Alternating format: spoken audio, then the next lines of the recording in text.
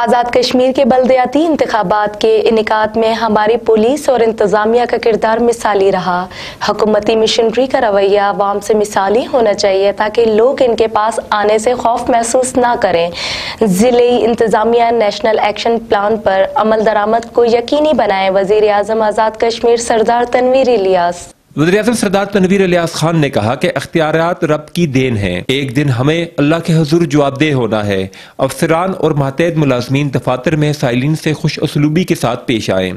हुकूमती मशीनरी का रवैया मसाली होना चाहिए ताकि लोग इनके पास आने से न डरें। अगर मुलाजमीन अपना रवैया और अखलाक बेहतर रखेंगे तो लोगों की शिकायत कम होगी। आज़ाद कश्मीर में इकतीस साल बाद पुरअमन बलदियाती इंतबात इनका में हमारी पुलिस और डिस्ट्रिक्ट इंतजामिया का अहम करदार है। डिस्ट्रिक्ट व तहसील लेवल पर खुली कचेरियों का इनका करके लोगों के मसाइल हल किए जाए। दफातर में शिकायत बख्श नस्ब किए जाए। जिली पुलिस अफसरान अपने अजला में नेशनल प्लान एक्शन पर अमल दरामद को यकीनी बनाए। आज़ाद कश्मीर के हर शोबे में असलाहत की ज़रूरत है। बरसाती नालों पर तजावजात का खात्मा किया जाए।